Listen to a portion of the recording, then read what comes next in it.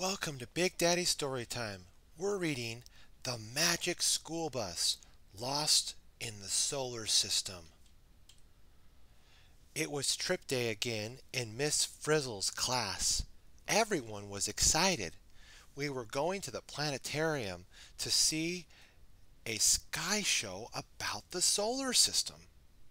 Arnold's cousin Janet was visiting our class for the day. I know all of you will be nice to our guest, said the Frizz. We tried to be nice to Janet. We, we really did. We, we got on the school bus. We told her that Miss Frizzle is the weirdest teacher in school. But Janet wasn't interested. She wanted to tell us about herself. As usual, it took a, it took a little while to get, to get the old bus started. But finally we were on our way. As we were dr driving, Miss Frizzle told us all about how the Earth spins like a top as it moves in the orbit, in its orbit. It was just a short drive to the planetarium, but Miss Frizzle talked fast. When we got to the planetarium, it was, clo- it was closed for repairs. Class, this means we'll have to return to school, said the Frizz. We were so disappointed. On the on the way back, as as we were waiting at a red light, something amazing happened. The bus started tilting back, and we heard the roar of rockets. Oh dear, said Miss Frizzle. We seem to be blasting off.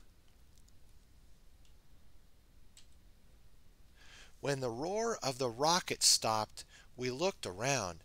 Everything had changed. The bus had turned into a spaceship. We were all dressed in spacesuits, and we were lighter than feathers. We floated above our seats. Far beyond in the black sky, we saw the planet Earth getting smaller and smaller. We were traveling in space. We had become astronauts. The Frizz said our first stop would be the moon. We got off the bus and looked around. There was no air, no water, no sign of life.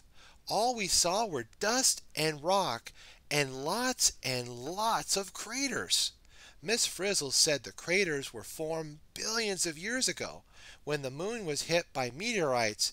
Meteorites are falling chunks of rock and metal. It was fun on the moon. We wanted to play, but Miss Frizzle said it was time to go, so we got back on the bus. We'll start with the sun, the center of our solar system, said the Frizz, and we blasted off. We zoomed around the sun the biggest, brightest, and hottest object in the solar system. Jets of super hot gases shot out at us from the surface. Thank goodness Miss Frizzle didn't get too close. She steered around to the other side and pulled away. We'll be seeing all the planets in order, class, explained Frizz. Mercury is the first planet, the closest to the sun. Mercury was a dead, sun-baked planet.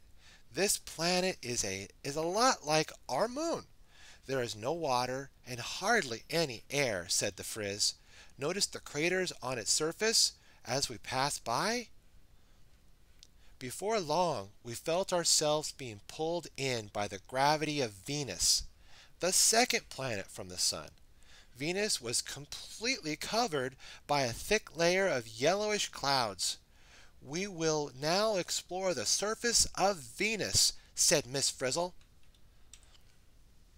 Below the clouds, Venus was a dry, was dry as a desert. The ground was covered with rocks, and it was hot. It was about 400 degrees centigrade. That's much hotter than an oven baking cookies.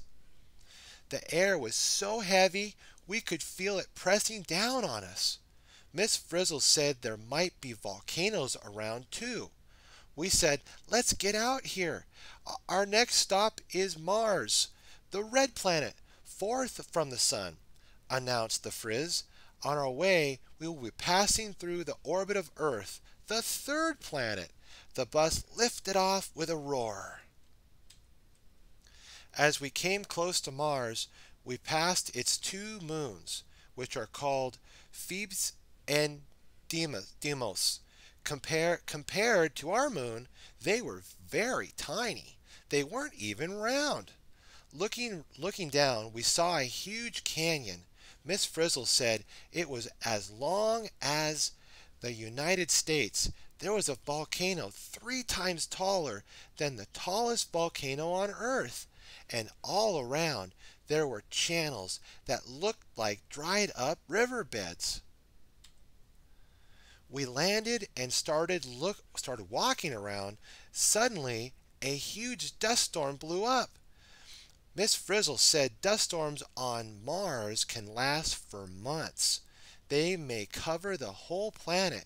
We scrambled back on the bus and headed out. Mars is the last of what we call the inner planets. Miss Frizzle shouted above the roar of the rockets. We will now be going through the asteroid belt to the outer planets. Thousands of asteroids were spinning all around us.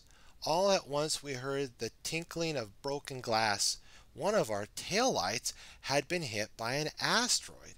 Miss Frizzle put the bus on autopilot and went out to take a look. She kept on talking about asteroids over the bus radio. Suddenly there was a snap. Miss Frizzle's tether line had broken. Without warning, the rockets rockets fired up and the bus zoomed away. The autopilot was malfunctioning. On the radio, Miss Frizzle's voice grew fainter and fainter. Then she was gone. We were on our own. We were lost in the solar system. Most of us were too scared to move, but Janet started searching the bus. In the glove compartment, she found Miss Frizzle's lesson book. Lesson book. As she began reading from it, a huge planet came into view. Class, this is Jupiter, Janet said. It's the first of the outer planets and the largest planet in the solar system. We thought the school bus was going to land, but there was no solid ground to land on. Jupiter is a gas giant, a planet made almost entirely of gas. As we left Jupiter, we wondered and worried. What would ever, how would we ever get home? The next sight made us forget our troubles. It was Saturn, a gas planet like Jupiter. It had swirling clouds and lots of moons. But the most incredible thing about Saturn was its rings. It was the most beautiful planet in the solar system. Next was Uranus, a blue-green gas planet with faint gray rings and moons. Some scientists think they might be made of chunks of graphite and the material used in the material that are used in pencils on Earth. The bus was getting faster or going faster and faster and we couldn't control the autopilot. We swept past stormy Neptune, another blue-green planet, eighth from the sun, all we could think about was finding Miss Frizzle.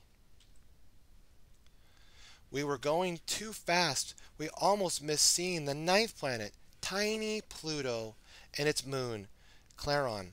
We were so far away from the sun that it didn't look big. It didn't look big anymore. It just looked like a very bright star. We were leaving the solar system. Janet flap, flipped rapidly through Miss Frizzle's book.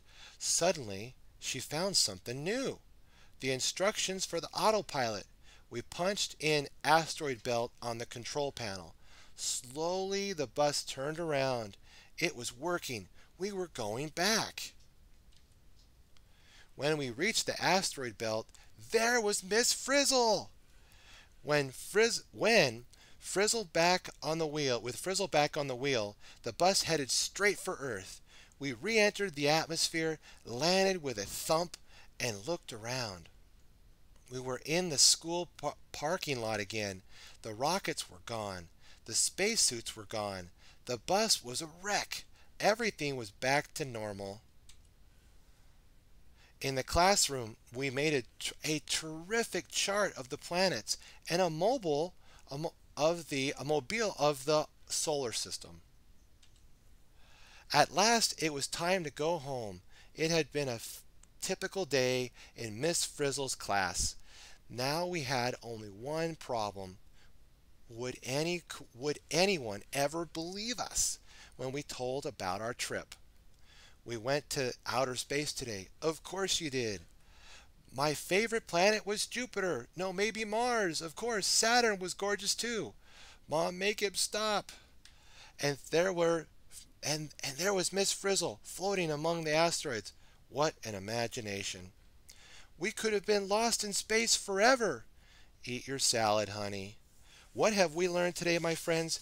We have learned that that the, from the Magic School Bus that our solar system is out of this world amazing. Be sure to uh, also be sure to like, favorite, and subscribe. Stay tuned for more Big Daddy story time. God bless.